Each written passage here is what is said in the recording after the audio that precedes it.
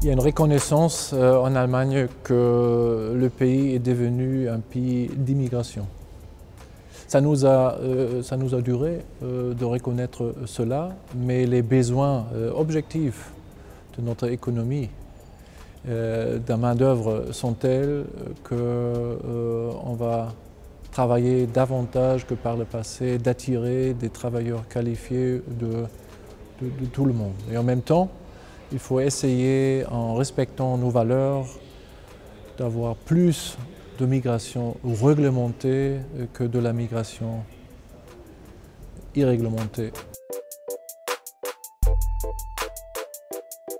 Eh bien, il y a euh, un principe fondamental euh, qu'on a mis en œuvre déjà pendant la crise de migration en 2015. Le droit d'asile politique est sacro-saint. C'est chez nous.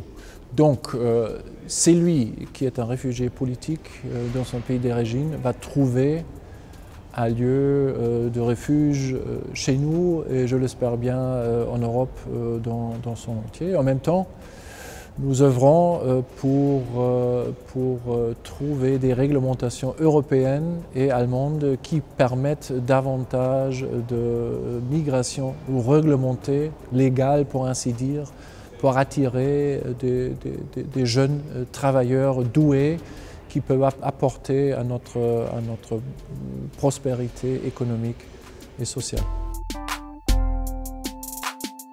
C'était un travail acharné euh, pendant des années. Euh, nous sommes très reconnaissants de la présidence suédoise de l'Union européenne pour avoir accompli avec des compromis peut-être pénibles pour certains, y compris l'Allemagne, d'avoir trouvé un paquet de compromis qui a permis à trouver une majorité qualifiée pour, l'adopter. Maintenant, l'enjeu, c'est dans le trilogue avec la Commission et avec, euh, le Parlement européen de, faire en sorte que très prochainement, on trouve un accord pour mettre en œuvre vraiment une grande réforme de notre politique d'asile parce qu'on en a besoin, la situation telle qu'elle se présente n'était pas acceptable.